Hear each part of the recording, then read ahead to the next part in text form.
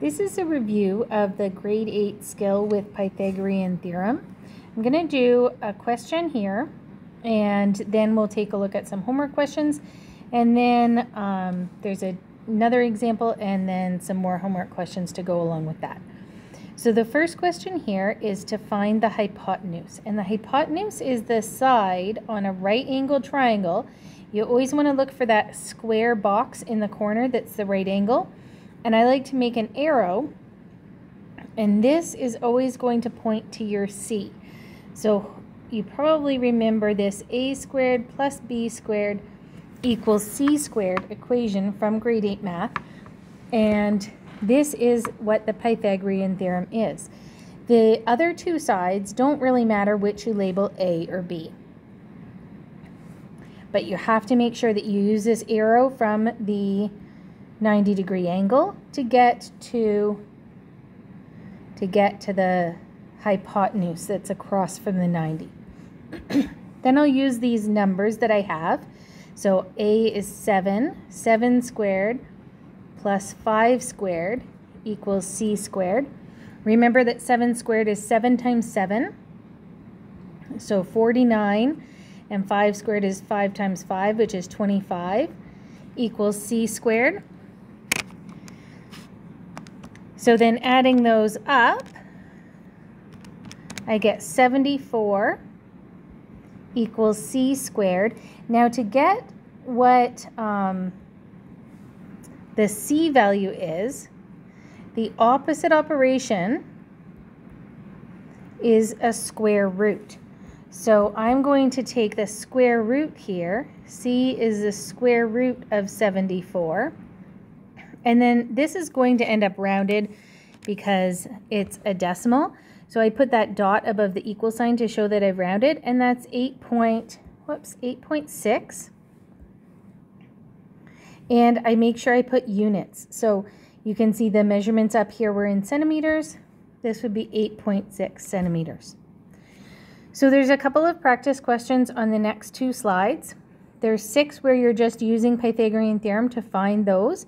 One thing to note on 1C is that these little tick marks here and here make mean that, that those two sides are equal. So that side that I'm highlighting and the other side that I'm highlighting are both 8 meters. So, and that shows up on 2B as well.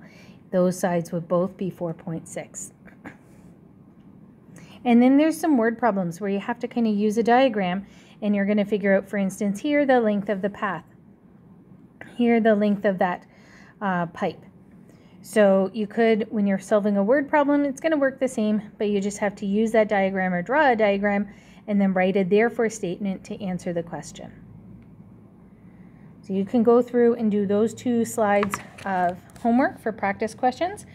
The next example I want to look at is a little bit different. So when you're doing Pythagorean theorem, you always, again, want to take the right angle and make it into an arrow. And it points to, so if I kind of look where that arrow is pointing, it goes to this side over here. That's my C. And last time we were looking for the C, so when we have the equation being a squared plus b squared equals c squared, it was easier if we were looking for the c that that was already the number by itself. But now we don't have that. Now we've got A and B are the two shorter sides, and I'm actually looking for side B. That might be labeled with any letter. It doesn't have to be an A or a B. So if I put in this information, I get 35 squared plus B squared equals 175 squared. I'm going to do the squareds, 35 times 35. And then 175 times 175, or if you have a squared button on your calculator, you can do that. Now to get b by itself, we have to subtract this 1225. It's positive, so we have to take it away from both sides. So now I've got b squared here, equals 29,400.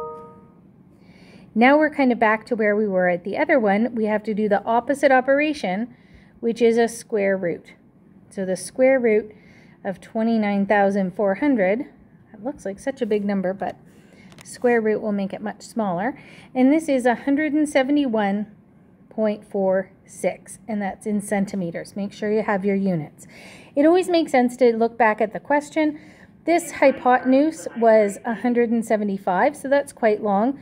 Um, and this one looks almost as long, and it's 171, so that seems to make sense. The last thing to do for the Pythagorean theorem assignment is to finish up question 8 and 10. These are ones where you'll have to find a missing side that is not the hypotenuse. In this one, you're going to have to draw a diagram.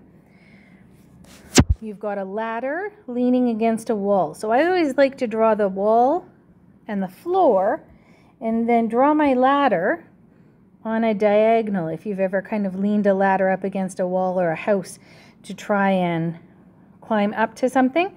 it says that the ladder is 4.9 meters long. So then you can fill in the other information and solve that problem. So this is your assignment for Pythagorean theorem. If you have any questions, please just give me an email.